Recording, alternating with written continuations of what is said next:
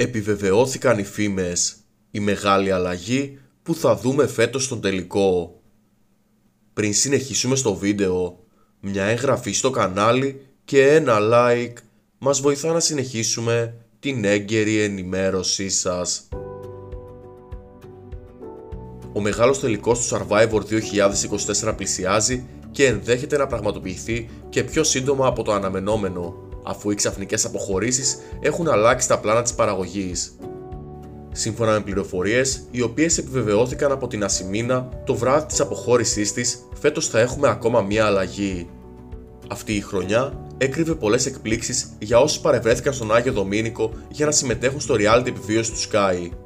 Μία από αυτές ήταν πως πλέον η αποχώρηση γινόταν με βάση την αγωνιστικότητα αφού οι παίχτες περνούσαν διάφορους τύπους μάχης για να αποδείξουν πως αξίζει να παραμείνουν στο νησί και όχι με ψηφοφορία του κοινού όπως είχαμε συνηθίσει τα προηγούμενα χρόνια.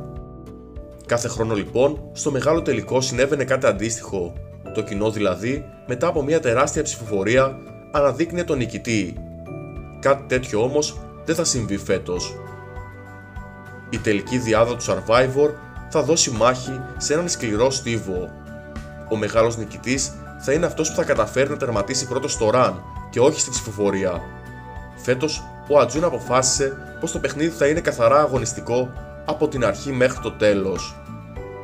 Γράψτε μας στα σχόλια, ποιος παίχτης πιστεύετε ότι θα το κερδίσει; Για οτιδήποτε νεότερο θα σας ενημερώσουμε με νέο βίντεο.